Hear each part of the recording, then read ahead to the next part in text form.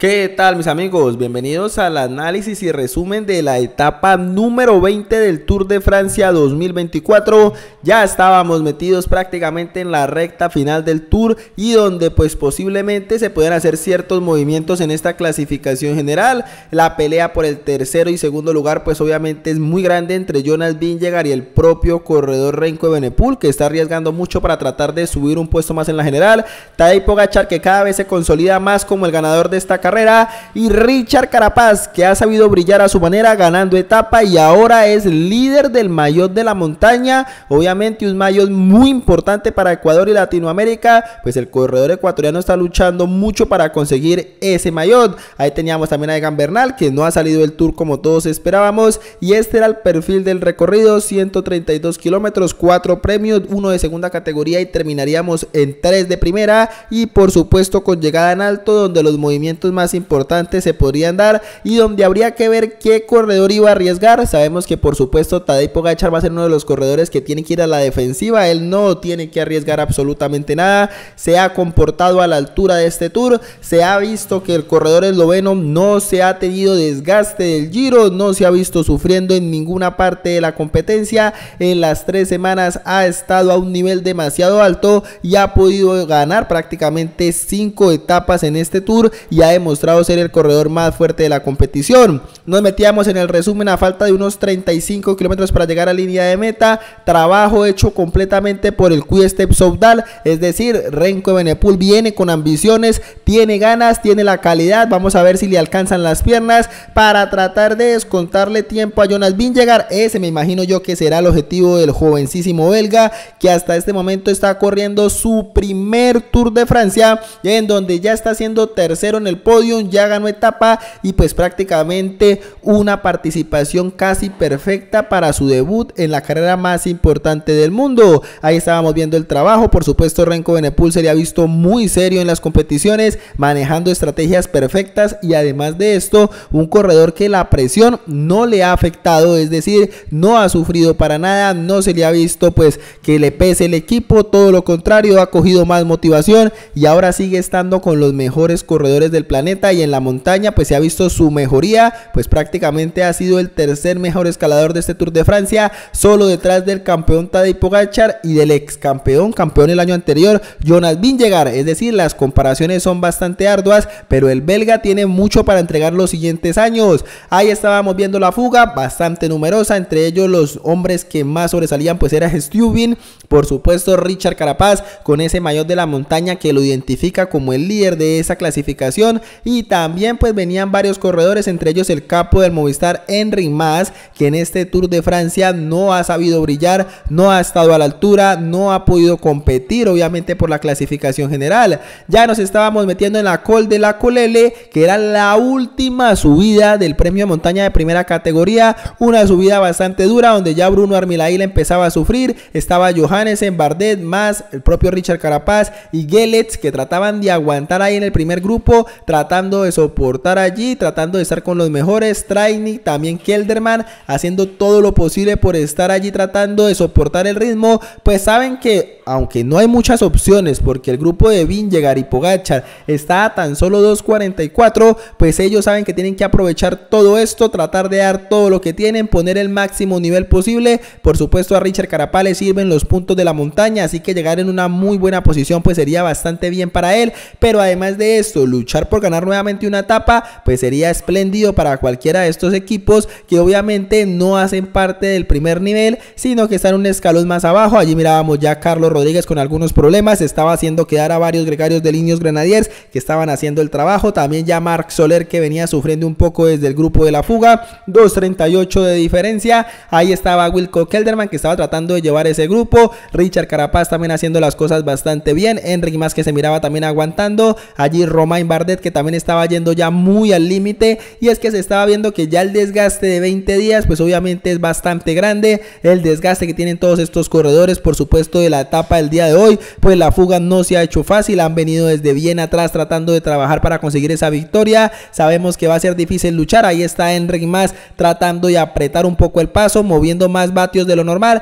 pero Richard Carapaz también estaba ahí sosteniéndose bastante bien el ecuatoriano, el de Carchi, la locomotora, haciéndose otra muy buena etapa etapa, no es normal, ya Richard Carapaz se ha mostrado en varias etapas, no está peleando por la clasificación general, pero sigue siendo un corredor que obviamente se muestra mucho adelante, muestra bastante los patrocinadores, ya ganó etapa, ya está ganando el mayor de la montaña, ahora lanzando un ataque, todo esto le sirve al equipo del EF Education Easy Post, pues obviamente la ficha de Richard Carapaz no es para nada barata y el corredor tiene que mostrar porque es que es de tanto valor, a pesar de no haber tenido una muy buena temporada, pues en este tour tiene que mostrarse mucho con los mejores, tiene que desde otros ámbitos tratar de alcanzar etapas, tratar de mostrar ese mayor de la montaña, eso también es bastante importante, pues subirá al podium en los Campos Elíseos como el mejor escalador de todo este Tour de Francia, el corredor ecuatoriano. Ambos corredores atacan, Más aguanta la rueda de Richard Carapaz, los dos corredores quedan en cabeza de carrera, cada uno buscando sus opciones, obviamente tratando de luchar por la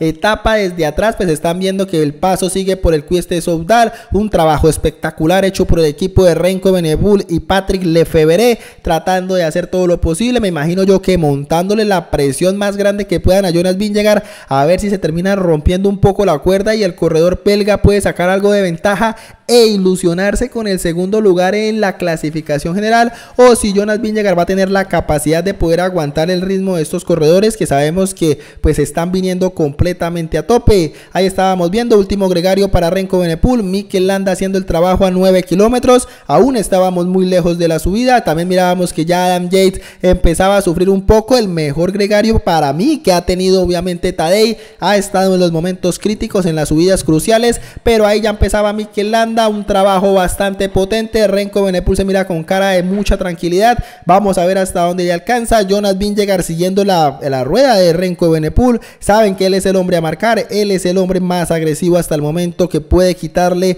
ese puesto en la general. Ya saben que con Tadej Pogachar no se pudo en este Tour de Francia. Ya será el próximo año. Pero por ahora habrá que luchar para tratar de arrebatarle esto a Tadej. Estamos viendo que viene Jorgensen, Landa, Joao Almeida, Renko Benepul y Jonas Vingegaard. Los los mejores escaladores de este Tour de Francia están ahí, están los mejores de la carrera en la clasificación general y ahora simplemente es momento de aguantar con los mejores y ver quién lanza el primer ataque. Ahí estamos viendo que Mikel Landa sigue haciendo un trabajo espectacular y desde cabeza de carrera pues está viendo a Richard Carapaz también haciéndola muy bien con el corredor español Enric Mas. Estábamos viendo ahí a Renko, llegar muy cerca, Pogachar también cuidando esa rueda, Joao Almeida un poco más atrás y ahí se viene nuevamente un lanzamiento de Richard Carapaz tratando de romper a Enric Mas Mientras que atrás Renko Benepul también hace lo propio con Jonas Vingegaard, dándolo todo Renko Benepul, un ataque bastante largo. Los únicos que aguantan son Jonas Vingegaard y Tadej Pogachar. Renko mira para atrás, ve que no se le puede hacer daño a Jonas Vingegaard. Sigue siendo un hueso muy duro de roder el corredor danés,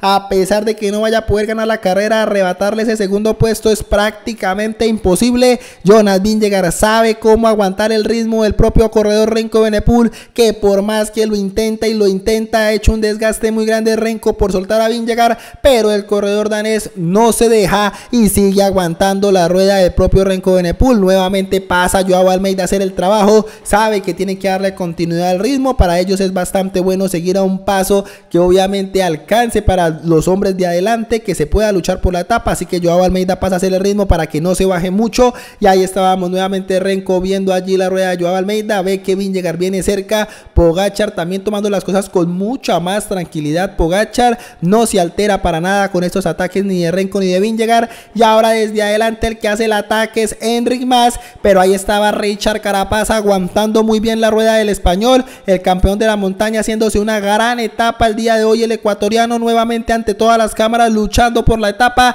Y hace el ataque nuevamente Richard Carapaz tratando de soltar a Enric Mas con todo lo que tiene. Pero cómo sabe sufrir el español. Sufriendo a rueda de el propio Richard y no se está quedando, está aguantando y atrás Renko vuelve y lo intenta Renko Benepul, pero Jonas llegar cerrando ese hueco con extrema facilidad, se ve a Jonas llegar y ahora contraataca el danés a Renko, se viene Jonas llegar mira para atrás, Renko sufre y Pogachar pues siguiendo la rueda de Jonas llegar no está tomando ningún riesgo Pogachar, hoy no es día para arriesgar nada, hoy es día simplemente de mantener la rueda, él sabe que tiene prioridades y es llevarse el mayo amarillo a casa, Renko ya empieza a sufrir. Obviamente un guerrero Renko Benepul ha dado batalla. Sabía que no era el hombre más fuerte, pero había que intentarlo hasta el último día. No se sabía qué podía pasar y Renko lo ha intentado y esto es de admirar para aplaudirle al maillot blanco del Tour de Francia. Mientras ya empezaban a ver que Jonas Vingegaard y Pogachar se asomaba allá atrás. Richard Carapaz vuelve y lo intenta. No quiere dejar que Pogachar y Vingegaard les llegue a la rueda porque sabe que va a ser imposible ganarle a estos corredores en la recta final. Pero es que ya Jonas Vingegaard y Tadej Pogachar están muy cerquita de ellos. Se le están viniendo encima, les van a dar captura. Pasa Vingegaard por un lado. También está aguantando bastante bien Richard Carapaz. También está aguantando bien Henry Más. Están los dos corredores allí muy cerquita tratando de aguantar allí el paso de los mejores. Los corredores están haciendo todo lo posible por tratar de meterse allí en la disputa de la carrera. Estábamos viendo cómo venían estos corredores tratando de trabajar, tratando de mantener allí las diferencias estaba Jonas Vingegaard y Pogachar haciendo todo lo posible. Estaban aguantando allá adelante. Qué carrerotas están haciendo estos corredores. Estaba Jonas Vingegaard tratando de soportar el paso. Sin embargo, están aguantando bastante bien. Tadej Pogachar también estaba haciendo todo lo posible. Allí soportando el ritmo. Estaba el propio Jonas Vingegaard allí aguantando el paso de Tadej Pogachar. Qué bien lo está haciendo Jonas Vingegaard. Qué bien lo está haciendo Tadej Pogachar.